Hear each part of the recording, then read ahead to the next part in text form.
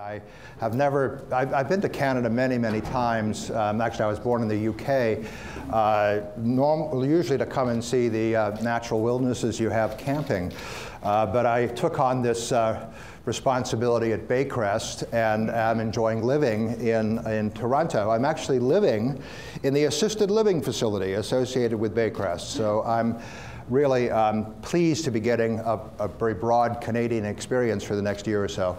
And particularly to see, now this is a memory test, Anne-Marie, Carl, uh, uh, Mary Beth um, and Brenda here, um, because I'm going to start my presentation actually by uh, telling you a little bit about some of my friends who are living with um, dementia, because I do think this is January. This is Alzheimer's Awareness Month. But you know, awareness is a very interesting word, isn't it? Because awareness changes, and our understanding of Alzheimer's disease and dementia are changing, in my opinion, because of the work here at MAREP and, uh, and elsewhere. And so I, I, really celebrate your work, and I'm, I'm very pleased to be here. Um, this is um, the uh, month in which we're trying to not only uh, bring awareness, but also counteract this stigma the Alzheimer's Society of Canada and Alzheimer's Disease International have campaigns to try to have us think differently and deeply about this, these words that we use. And I acknowledge uh, uh, Sherry and Gail and others and, uh, that uh, have been doing a lot of work in this area uh, themselves. Uh, so the, here we are. This is the, the World Alzheimer's Overcoming the Stigma of Dementia, and, and this is the Alzheimer's Society of Canada saying, let's think differently. I have to say, the Alzheimer's uh, Association of the United States has this rather awkward uh, role that it plays. It wants us to reduce stigma. Meanwhile, it's telling us that people are suffering and dying and becoming zombies as a result of uh, this process. Uh, and there's one uh, event like that happening every 68 seconds. So the trouble is in this field that some of our major proponents of, uh, of, of thinking about Alzheimer's disease actually are stuck and actually I think do, do uh, play a certain amount of role themselves in creating the stigma that they say we ought ourselves not to be uh, dealing with or addressing differently.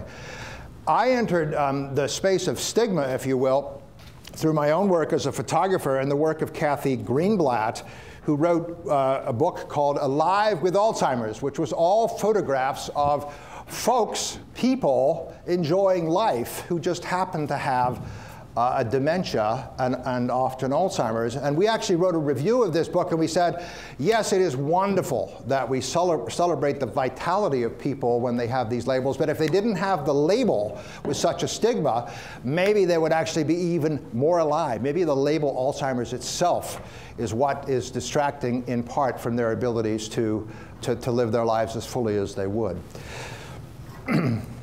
um, so, uh, Cathy came and photographed some of my patients, and uh, this is Cathy at Baycrest photographing some of their folks. Um, and, and so this whole notion that relationships uh, that can be captured through photography are a part of the, the, uh, the, what we want to uh, foster.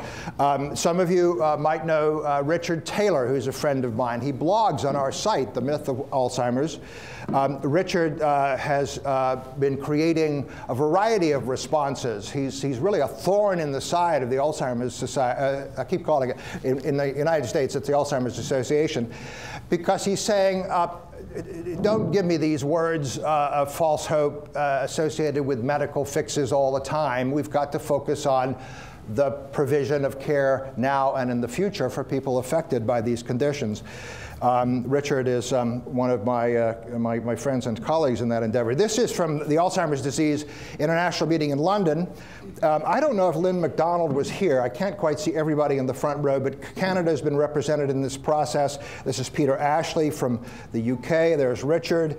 Um, th this is a, uh, an organization called DASNI, Dementia Advocacy Support Network International.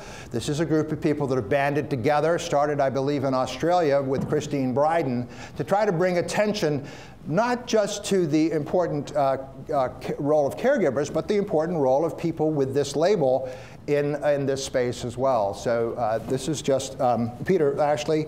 Um, almost celebrates his, the word dementia, and he uh, has Lewy body dementia. Um, Anne Basting, who does a lot of work in theater, and I uh, created a, uh, a, D, a DVD called Talk Back, Move Forward on the 100th anniversary of Alzheimer's disease a few years. And Anne is a professor of theater arts. And uh, in this uh, multimedia program that we did, uh, we talked about the importance of words and uh, used a combination of black and white photographs and black and white words, just as you saw in that exhibit outside. For those of you that haven't seen the exhibits, be sure to look at them before you go. These words that, um, that are full of uh, this ambivalence we have about the fears and hopes associated with this condition. I was uh, featured and said on that DVD that perhaps I uh, wanted to experience or even had an element of dementia. Uh, it's a very kind of controversial statement for a neurologist to say that, but I think we all have to have a certain amount of humility about our abilities as human beings to think deeply about the issues that face us as a species. We're not doing so well with our activities of daily living if you look at global climate change. And I am not in any way suggesting that um, we all uh, deserve a clinical label. Perhaps nobody deserves a clinical label. We'll talk about that in a minute, or at least the word dementia. But to be a little bit more humble about what we all think and know about the world around us, I think is an important part of. I seem to be bouncing here. I'll try to move more slowly. That's difficult for me. I was diagnosed as hyperactivity a long time ago. um, and even on January 17th, somebody sent me a link. Uh oh, this is the. Uh,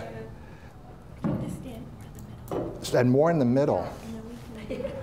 Well, this is. Well, then I'm going to have to go and turn this. All right. So while they're figuring out how to orchestrate me, uh, that was pretty easy, Sherry. Can I just ask that that beep beep beep beep that's coming from a cell phone? Um, so if anybody has a cell phone on, could you please turn it off? Because it's picking up somehow.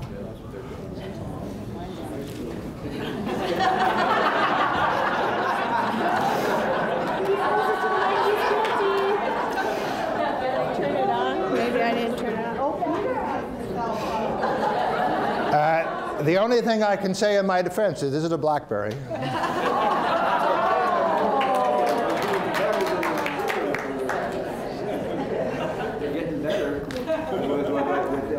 I, I, Carl, I think they are. I'm looking forward to the, the BlackBerry 10. Um, all right, now that they've got me to behave properly, we can get started. So I, I am uh, uh, an MD PhD. I'm interested in words. I studied psycholinguistics, which is the study of what words mean, how words relate to each other, and um, how words change over time. And words, of course, are important to us not just because they're a single word, but because they are parts of stories.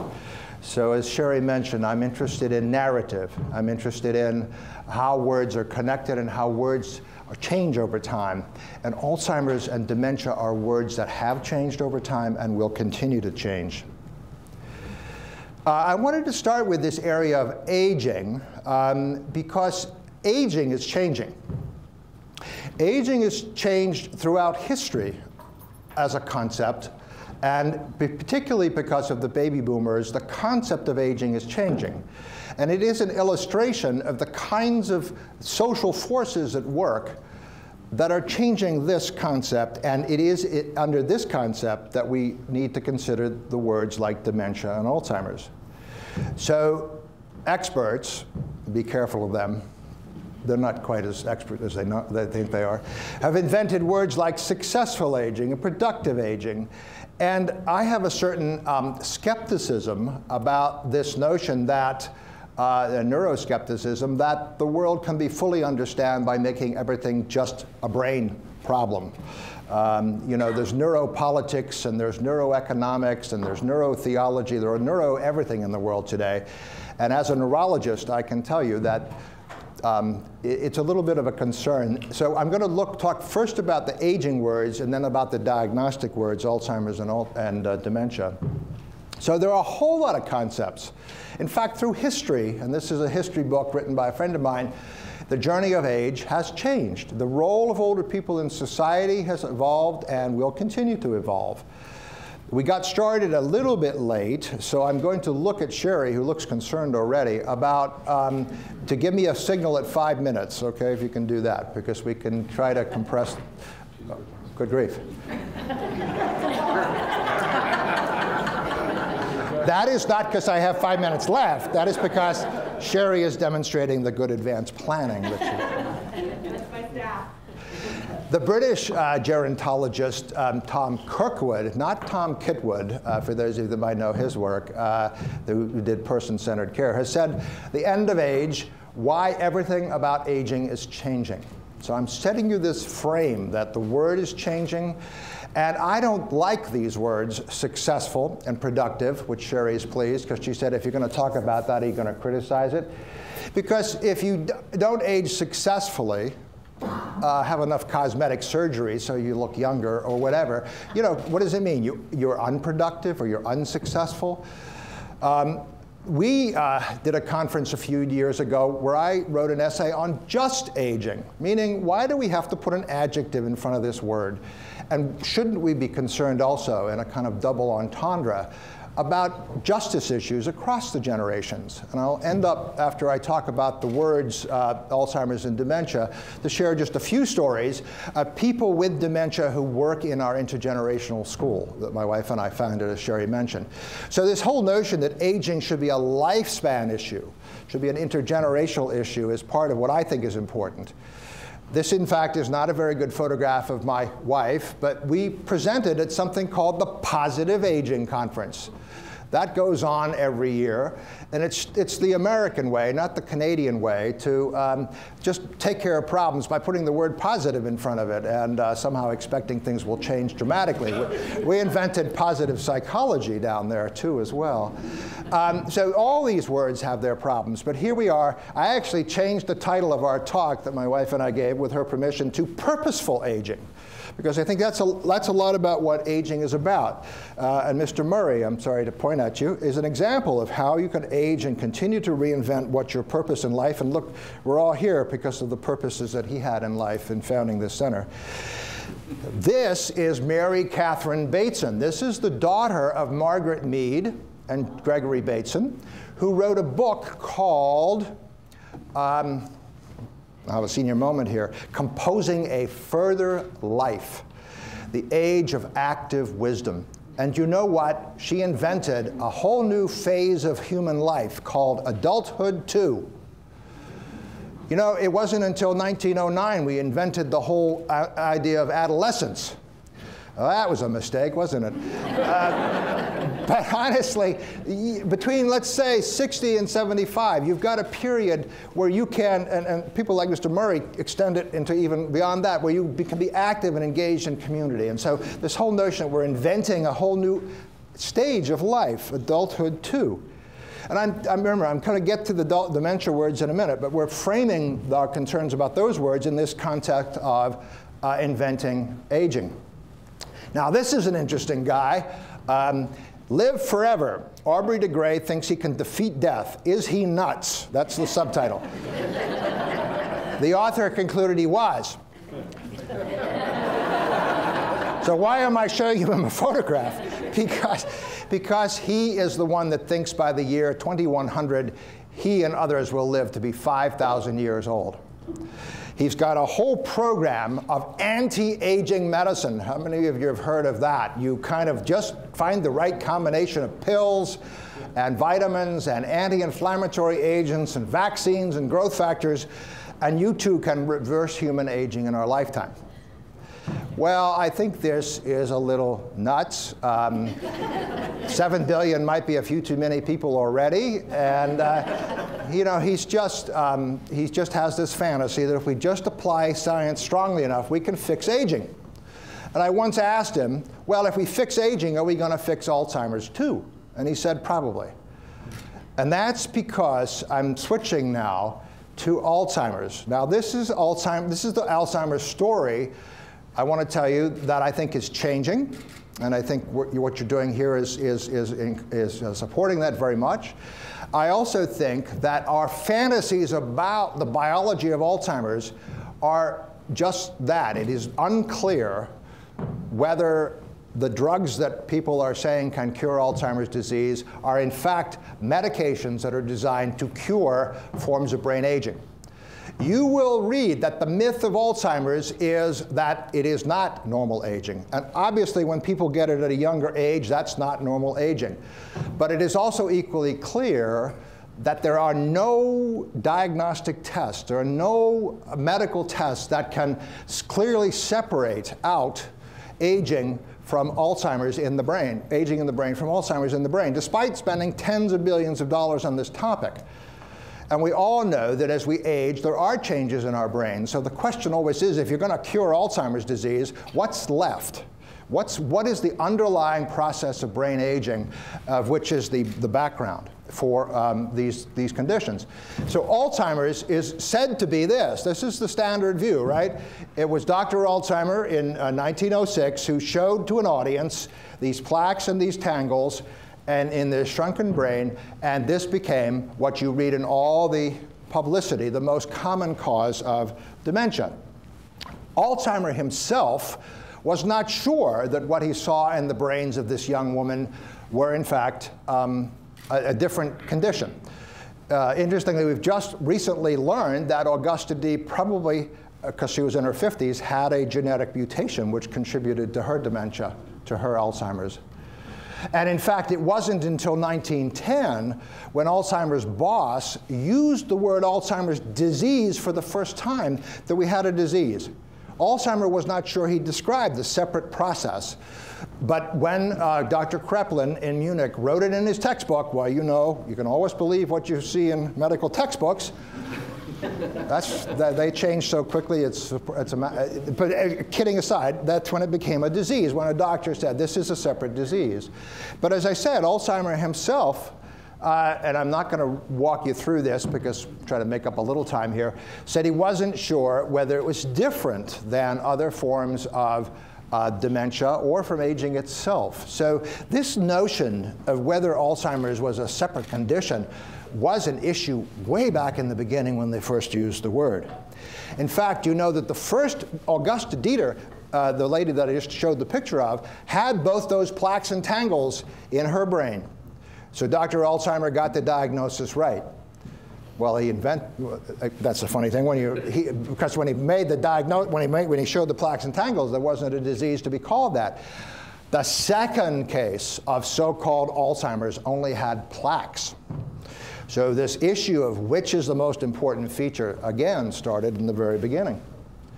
So um, we got ourselves in trouble, and fortunately it was we. It was this young man, Danny George, who knew my daughters in uh, the same high school and uh, went on to Oxford to get his PhD in medical anthropology. And I'll show you some of his research later. And we wrote this book, The Myth of Alzheimer's What You Aren't Being Told About Today's Most Dreaded Diagnosis. And I want to make it clear that um, I have been caring for people with cognitive problems for over 30 years. And so it's not that I'm I think, um, not informed. Uh, by, and, and, by the way, all the pictures are used with permission, as I'm sure you would, would, would imagine. I mean, this is a professor of biochemistry at my own university. And Danny um, is not a clinician, but he's worked with lots and lots of groups of uh, patients um, that are, uh, in this case, in our intergenerational school. By the way, am I pacing far too much for the camera? No? Okay. All right. And uh, if you don't want to buy the book, there's a website where we actively blog. And you can, you know, if you want to hear a bit more about the updates on the myth of Alzheimer's, here it is. Now, what do I mean uh, by this? Well, first, uh, it, Sherry said I was, an, I, was a, I was, a, good guy. You should listen to me. But here's Margaret Lock. I'm going to show a few of my favorite uh, famous Canadian friends. Margaret Lock is a Molson professor at McGill in anthropology. She is the most famous anthropologist of the female persuasion, and perhaps of any persuasion, uh, since Margaret Mead. Her book is coming out, and I commend it to you, The Alzheimer Conundrum, Entanglements of Dementia and Aging. And uh, she interviewed lots and lots of opinion leaders around the world about Alzheimer's and about my book. So there were a few that thought I'd lost my marbles. There are a few that didn't have time to read the book, including, by the way, a number of people that criticized it, because if you write a book called The Myth of Alzheimer's, you're going to get yourself in trouble. uh, even if the book's perfectly reasonable. But what was nice about this is um, there is a certain sense that the field needs shaking up. And, and, and that was what some of my friends were kind enough to say. Uh, they weren't kind enough to say that in public sometimes, but that's all right. Why do I say that Alzheimer's is a myth? Because Alzheimer's uh, disease is not one thing, in my opinion, and in the opinion of many other people. And in fact, if you talk to a few people here, you'll find that Alzheimer's, so called, affects people in very different ways. They uh, have a different onset, they have a different progression, uh, they uh, have a whole series of differences. At the genetic level, there are 300 or so different mutations that can cause Alzheimer's uh, in the early onset forms. The brains don't look the same, uh, the, the neurotransmitters are different, and it's become increasingly clear that Alzheimer's overlaps with other dementias. I have to leave here a little early because I finally got an appointment with Sandy um, Black, who is the new director of the Toronto Dementia Research Alliance. And uh, she, uh, she couldn't meet any later, so I have a 2 o'clock appointment back in Toronto, which is my way of apologizing. That's assuming you're not throwing me out of the room and getting me on my way anyway. Uh, she gave a talk on Friday um, where she described the very intimate connections between Alzheimer's and vascular dementia, so-called stroke-related dementia. So it's really the case that it's increasingly difficult, even for the best neurologists in the world, and we have, you have some here in Canada, to make a clear distinction between those two, uh, those two conditions. So overlap occurs, and I've already mentioned my main point, that Alzheimer's overlaps with aging. Do you know that 30 to 40% of people who are older may have plaques and tangles and not any significant memory problem? And I'll explain that a bit more. So if you're older, you may have the plaques and tangles and not have a memory problem. But as you get older, the chance of having a memory problem goes up and up and up. So we don't know for sure if everybody lived to 120, whether everybody wouldn't have significant memory problems. So that relationship between the, is that me?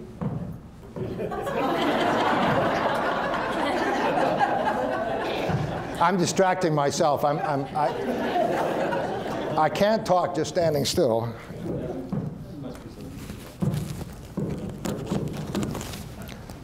Okay. I'm not sure. Okay, so um, so here's the the. Uh, I don't know if, if it's not distracting you, I can deal with it, but I'm just very concerned that it might be quite annoying to the audience. But uh, let me just try to be still.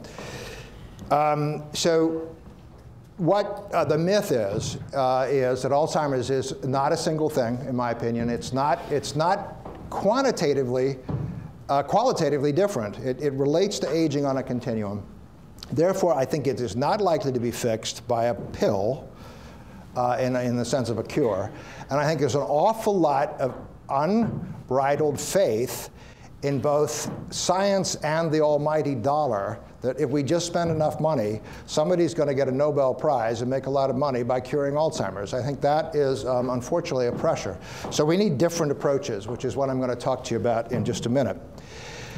Lest you think I'm the only one that thinks the language has to change, here is the international group that published new diagnostic criteria for Alzheimer's. And they said, revising the definition of Alzheimer's, a new lexicon. There was some new science, but basically they were shuffling words around.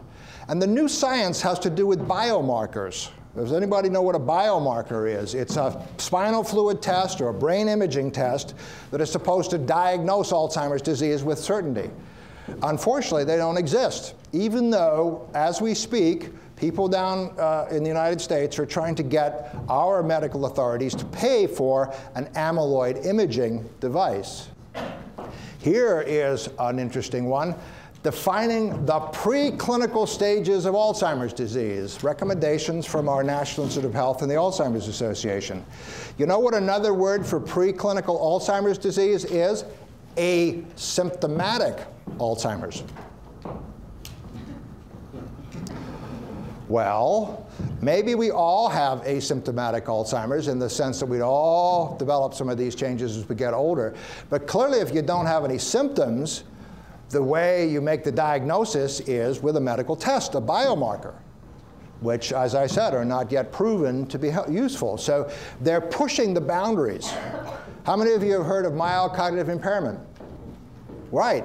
So you've got asymptomatic Alzheimer's, you've got early cognitive impairment, you've got late cognitive impairment, you've got very late cognitive impairment, you've got early Alzheimer's, you've got, in other words, we've got a continuum here that we're just labeling in different ways. Uh, this is the uh, killer one, if you will. Uh, this, these are the new neuropathology criteria in which in the draft report they said that the pathology was disengaged. How many of you have heard this statement that the only way to be sure you can tell whether somebody's got Alzheimer's is to look at the brain. Then that's why people have donated their brains. That all definite Alzheimer's is only a patho pathological diagnosis. Some of you, I'm sure, have. This is where you like look at the audience and you figure, are they with you or they aren't with you, depending. They're either nodding off or, uh, okay. Yeah, well, it's commonly said. Well, the problem is, as I said a minute ago, people with, uh, who are older may have plaques and tangles, but not have a significant dementia. So you, you can have Alzheimer's disease clinically, and you can have Alzheimer's disease pathologically, but they don't always connect. All I'm saying is that the science and the leading scientists are changing the story of Alzheimer's. This is, this is not one, you know, one person's view. This is a consensus uh, from several different groups. Um, Vladimir Hachinski, another of my um, famous um, uh, Canadian uh, friends, is the uh, chairman of neurology at um, London, uh, but he's also the head of the World Federation of Neurology. We wrote an article on dementia, okay, the changing views of dementia. Now, dementia is going away. Do you know how dementia is going away? Because the psychiatrists of the United States are saying it's going away. you know, they cured homosexuality in 1973 when they decided it wasn't a disease. Now they're going to rename dementia as major neurocognitive disorder. And guess what? There is a minor neurocognitive disorder. and the latest advance will be there's a very minor uh, you know, I'm, I'm, glad you're laughing, but these are serious matters because these are labels that dramatically affect people's lives. So this is our, our critique of DSM-5. This is an article we did on the Japanese public health campaign to change the word for dementia. Japan has a lot of older people, and their word chiho essentially meant the same thing as our English word dementia. It's a negative word. It meant disease of cognition associated with idiocy, not something we want to label people with. Well, the Japanese government developed a website and a rather open process, a little unique for the Japanese government, and they came up with a new word called ninchisho. So ninchisho is the Japanese word for what was dementia. It means cognitive condition or cognitive syndrome, so it was a softer word. So that was a recognition in the entire country of Japan that the words are powerful and perhaps need to change. And perhaps, you know, maybe the, the, the Japanese and the psychiatrists are in the same direction, but I think we, we, we would not want to think that all you have to do is change a word in order to address stigma. This is not the whole answer. Maybe it's part of it.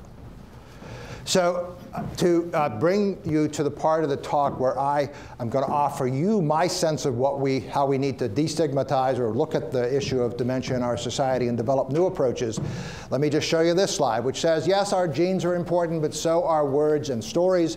And maybe we have to bring back this focus on people and their relationships. So what my wife and uh, I and lots of other people did was develop an intergenerational school in Cleveland, Ohio, and as part of that, we see um, we've created a Healthy Brains, Healthy Communities initiative where we're trying to bring the leaders in education and health together. This is uh, a graduate of my medical school, Case Western Reserve University, the first African American Surgeon General and uh, head of the CDC in uh, the United States. Um, and so he launched this initiative. Can I? I think it's, uh, anybody here, here a cardiac arrhythmia? What I'm going to suggest is that we take this one off. I, the acoustics in this room are really, really good. Okay? Oh, you, you in this room have to hear me without a microphone, which probably is going to be Want to okay. just remove that from your bottom? oh, it's this one. I need to. We're going to turn this off. I was once giving a lecture and there was a bomb scare, so just I, I can handle anything.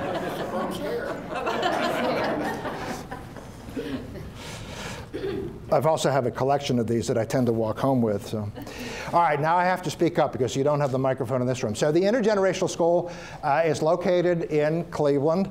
Again, I'll move a little quickly through this.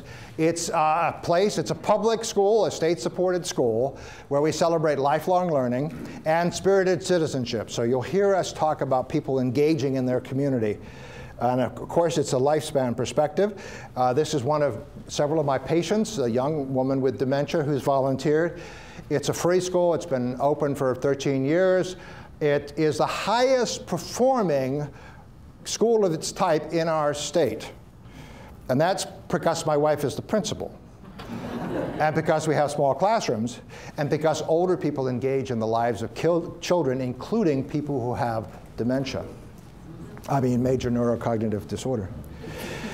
There's a lot of relationship building. There's a lot of community partnerships. I think the spirit of our school is very similar to what I feel about the spirit around here.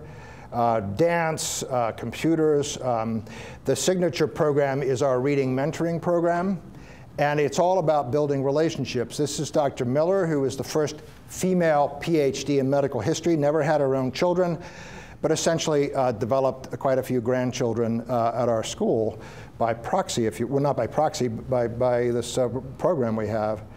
Um, Danny George, that young man who um, I wanted to set up with my daughters but couldn't, uh, the great guy,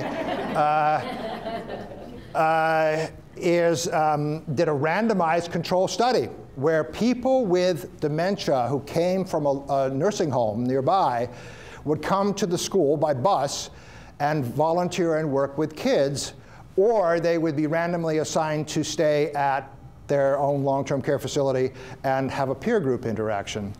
And um, the intervention was storytelling, largely around objects and around books. And all of these people have mild to moderate dementia.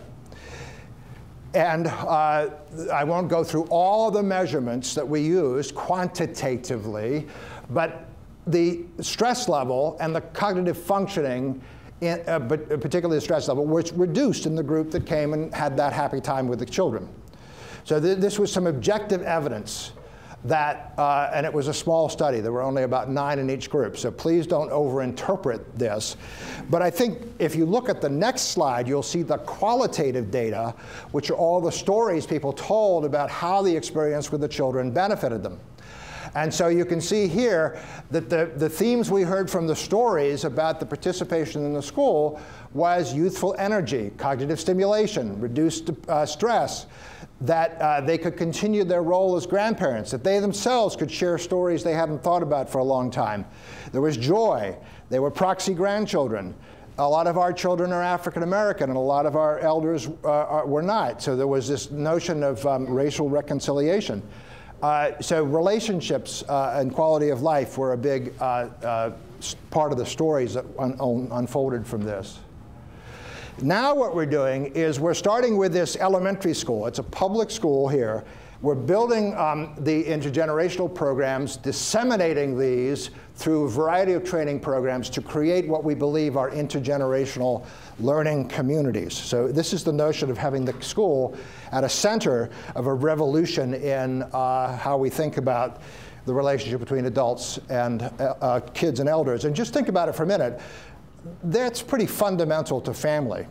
But because of urbanization, because of changes in the workforce, people don't have as much opportunity to be with their own grandchildren.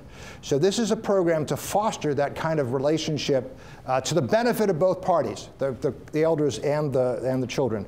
One of the things um, is we study our watershed. This is the Doan Brook. We are in an urban area, and for various reasons, there is this protected brook that's a walking distance from our school.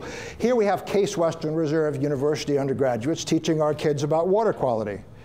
Here is our nature center where uh, the, uh, the kids and go with their elders uh, to, um, to learn about uh, how to observe nature and uh, look at patterns and, and get a sense of the, the, um, the, the, joy of, uh, of learning. Um, we have been promoting this whole notion of creating healthier environments because I personally believe that there are huge environmental threats to healthy aging. And this is a report that we were part of with a closer look at Alzheimer's and Parkinson's. And in New York, just in this past uh, May, we had a conference where we brought together people that were concerned about the health of children with the health of elders and uh, with the health of our environment. Because to, in, in, we've got to bring these social forces together so we do create, I saw out, out in the table, age-friendly communities. Age-friendly communities that will be friendlier for kids, for adults, for people with dementia, for the environment. Uh, lead poisoning is a big issue still in Cleveland and many cities. Uh, because on that, it, no amount of lead, as you may know, is good for a child's brain. And in fact, uh, you can argue that lead poisoning causes late life dementia because it gives you a damage to your brain early on uh, that when you get older, it kind of catches up to you even more. Although, of course, lead poisoning can affect school performance even in a youngster. A few more uh, stories. This is Kay Fuller, who has a dementia. Uh, Kay Fuller was an environmental activist in the 1960s who prevented a corrupt politician from putting a freeway right through that nature center that I showed you the kids and the adults working. And um, uh, so our kids are in the uh, uh, room of, uh, of a long-term care facility that we work with, interviewing Mrs. Barber about how she saved the nature center with her friends uh, uh, in the 1960s. Uh, she has a dementia, as I said. Uh, this is the book that we self-published on the legacy of the Clark Freeway Fighters, something which I think is really important for all of us, particularly as we get older, which is how do we leave a sense of legacy? And what better way, from my perspective, of leaving a legacy is to be working with kids to share with them uh, this common sense across the generations of responsibility for the environment. And here is um, Mrs. Barber and uh, uh, sorry, Mrs. Fuller and Mrs. Barber uh, showing uh, their uh, pictures in their books to, to, kids in our school. And we've published a lot of this stuff. This is a, an article on Mrs. Fuller that we called Occupy Nature. Uh, this was during the time of the Occupy movement, passing activism across generations.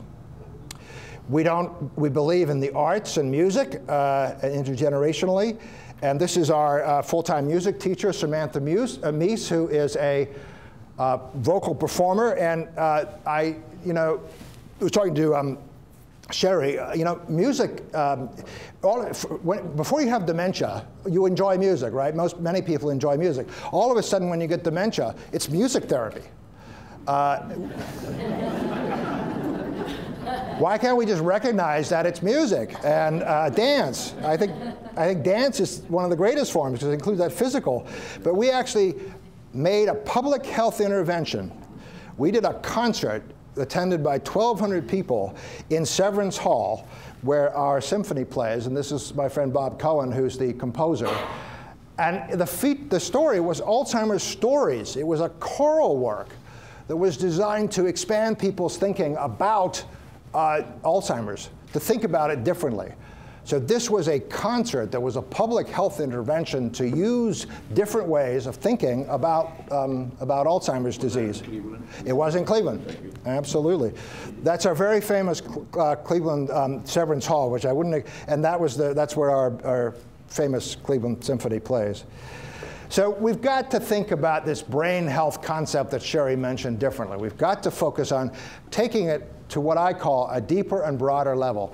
You know, I can tell you all about computer programs to keep your brain fit. I can talk about diet. Should be talking about it more myself. I can talk about physical exercise, but ultimately why we want to stay alive. What is the purpose that we have in life? That is the depth of brain health. You know, you can do all the wonderful things to stay healthy you want, but if you're not got a clear purpose and reason for being around, well, why do all that stuff? And the other thing is the breadth, and that is what is so great about this community, uh, that, uh, because honestly, most people, many people will discover that as you get older, the people around you are even more important to you. They're even more important to your sense of purpose and your sense of legacy. So taking this sense that brain health is not an individual activity, it's a team sport. And it's really a community uh, uh, uh, effort. I'm going to end up with another of my favorite um, um, people with dementia, if I can use that label. This is Arne Næss. Arne Næss was a Norwegian philosopher who uh, was the youngest professor of philosophy uh, ever at the University of Oslo. He then retired from academics and became an activist working with Greenpeace and other, other organizations for about 40 years after he retired as a professor. Um, but he's much loved in, um, in, in Norway. Um, uh, Norway has a lot of mountains, and Arne Næss had a hut where he used to go study on top of a mountain, small mountain in Norway. So Arne Næss uh, invented this metaphor. Remember, we've been talking about language here. We've been talking about creativity and imagination. And Arne Næss um, uh, suggested we as human beings need to think about things metaphorically like a mountain. We have to think broad-based, aspiring, sustainable, whatever you think a mountain communicates to you. And uh, so I'm just going to end with um, uh, two pictures of mountains and a kind of theme to my talk. Um, uh, in November of 2009, I got to do one of my um, bucket lists. I, I, gave a talk in Kathmandu and then went trekking in, in the Himalayas. And in, in that talk, I invented a, uh, a word with some colleagues called intergenerativity. Have any of you heard of the word intergenerativity? No, because if you Google it, uh, you might see our paper. Uh, you know, words come and go. And uh, do you know what the English language word, I have more than five minutes, I can tell you this. You know, there's a group in, in the United States, I don't know if it has international representation, it probably does, that looks at words uh, that come into our language in a new form. Um, when we had that famous um, kind of election uh, and the Chads in the, um, in the, in the ballots got, uh, got uh, to be a problem, that was the word that year. In uh, 2000, uh, they picked the word of the millennium. The English word that was invented in the last thousand years that, that uh, had had the most impact on society. Anybody want to guess what that word was? No, I'm sure you do, but we don't have time. she she, the, according to these experts on, on linguistics, the, the, the, feminine pronoun was an invention after the male pronoun. And that, they think, had some influence on human culture to have a pronoun to refer to separately women. But anyway, I'm a little off target. Um, words and the stories that they, that they, that they create through metaphor are really, really uh, important uh, for us to think about. And so intergenerativity is this word that is a blend of innovation and integration. It's taking sources of generativity in society and put them together. So be it an elder and a child, be it a nurse and a doctor, uh, be it a neuroscientist and an ethicist. So I think we have a challenge to our future. The challenges of Alzheimer's disease are embedded in the challenges of aging, are embedded in the challenges of what's happening to our planet. So I think if we can think about Alzheimer's disease in different ways, it really is much more important than doing that just for the people that have that condition. It will tell us things about our own minds, our own brains, our own aging, our own sense of what a community is, and our own sense of humanity. So I do believe that these words that we've talked about today are really important to think about. And um, I would recommend doing some of that thinking on a mountain in Nepal or anywhere else. Thank you. All right, thank you.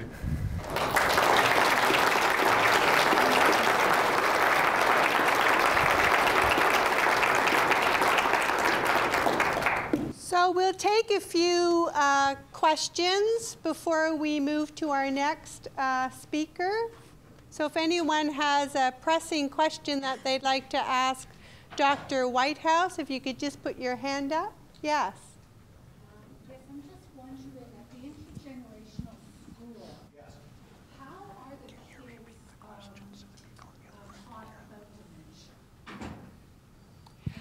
Can I just repeat the question for the people in the other room? So, at the intergenerational school, how are the children taught about dementia?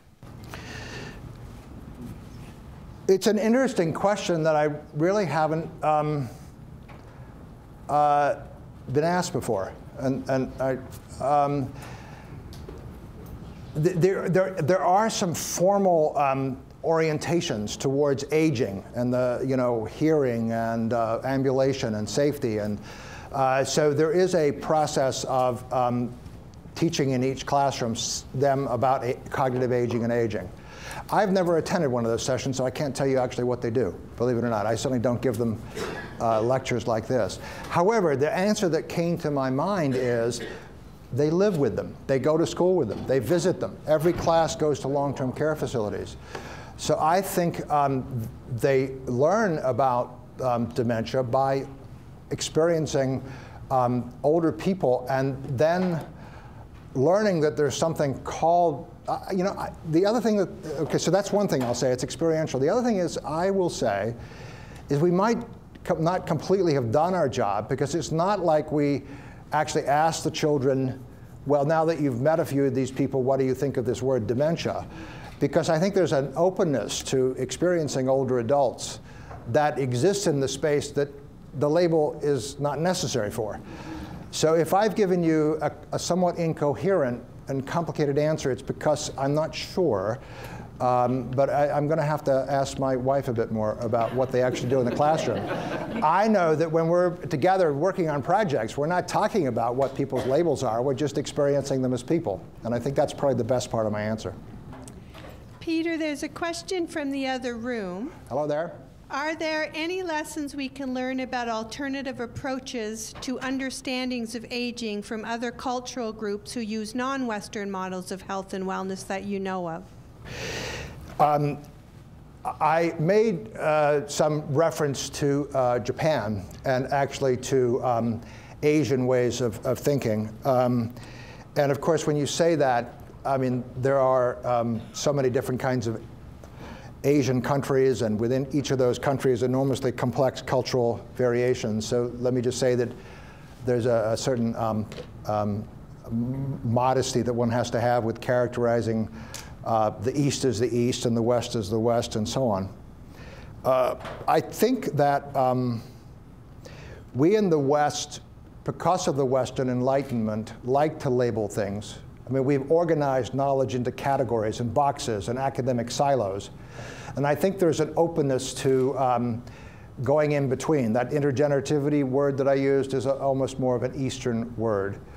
Uh, I, I, think the, the, the, Asian cultures attend more to process and certainly to relationships. I mean, they say in Japan and in China that in the individual sense of selfhood, autonomy, the Canadian American, we are our own individual people, it's different there there's a sense of the communal sense of self, that you are the self only in relationship to other people.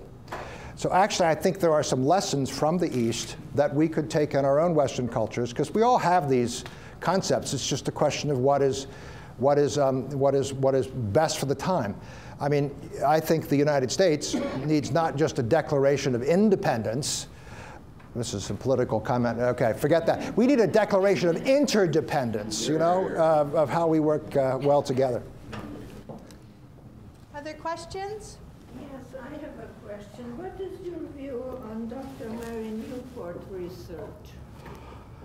Dr. Mary Newport, uh, can you tell me a little bit more about Dr. Newport's research? I may recognize it if you tell me, but uh, I don't know the name right off the bat. Oh, yes. Well, we just happened to see in a, in a paper, and we went on internet, and it showed up that she was uh, healing her Alzheimer's uh, husband with uh, coconut oil. Oh, right. Yeah. If you had said coconut oil, I think I might have. that was it. Uh, First, is she putting it on the skin or is she uh, consuming it? I mean, um, I, you know, I think if I had it, I don't know the person. I, I, I am a big believer in trying to avoid uh, strong medical therapies if you can. So I'm all in, I, I believe in natural ways of thinking about healing. However, there are lots of people who have um, discovered things in their own lives that um, work for them, which is good, and particularly if they're safe. But they don't really have enough evidence to be sure that other people, it will benefit other people. Uh, so I have to withhold judgment about, about that. Um, I, I want to tell one more story because it relates to that. We are going tomorrow uh, to the Legacy Project, which is uh, north of Toronto. Some of you may have heard about it. They're all about creating intergenerational communities. And they uh, have as a member of their team uh, the principal uh, leader, Susan Bosak's mother, Nadia, who has dementia. So on tomorrow, I'll be working with a team, um, and they um, have their facility out in an arboretum. And in that uh, facility, they go out and they uh, interact with the trees. I don't think they have any coconut trees. Uh, but the whole notion that you can heal and connect by feeling that connection to, to nature and to trees. Uh, and I also share that story because it's also another person with dementia who's contributing significantly to, um, to that project. One more question?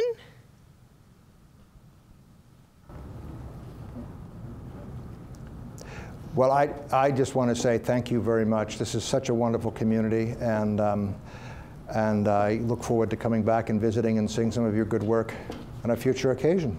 Great. Well, Peter.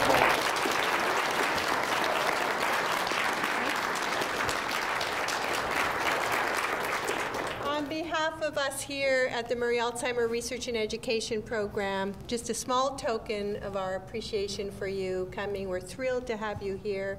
And I get to, to be with Peter tomorrow at the Legacy Project um, meeting as well, so that Right. will be fun to see what they're doing in Toronto. Thank you, Peter.